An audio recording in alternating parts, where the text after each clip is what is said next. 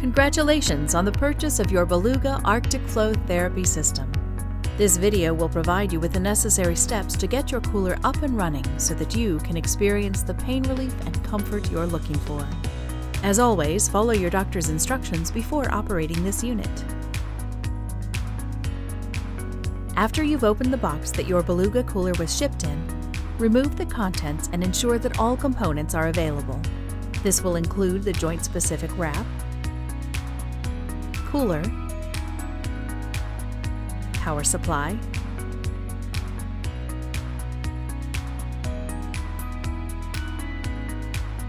and remote. All wraps come equipped with a quick connect end. This makes connection to and removal of the wrap easy.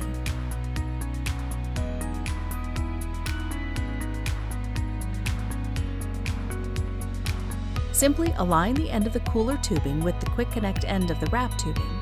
Slide the cooler tubing into the quick connect until you hear it click. The click sound ensures that the connection is secure and won't leak. Using the label located on the inside of the cooler, fill to the wavy lines on the label with water first.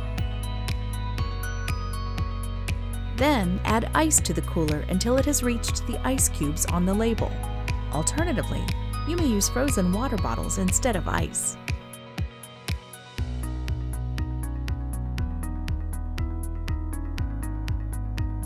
Once the cooler has been prepared, close the lid. Plug the power supply into the cooler. The jack is located on the right side of the cooler.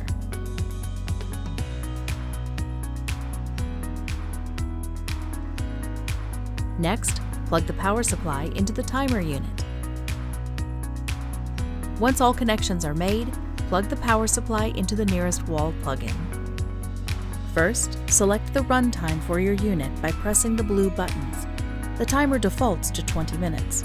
You can increase the time by pressing the blue plus button and decrease the time by pressing the blue minus button. Next, select your rest time by pressing the gray buttons on the timer. Use the gray plus button to increase rest times and the gray minus button to decrease rest times. Once your customized timing has been set, hit the red on-off button and you're on your way to experiencing the relief that can only be experienced using the Beluga Arctic Flow Therapy System.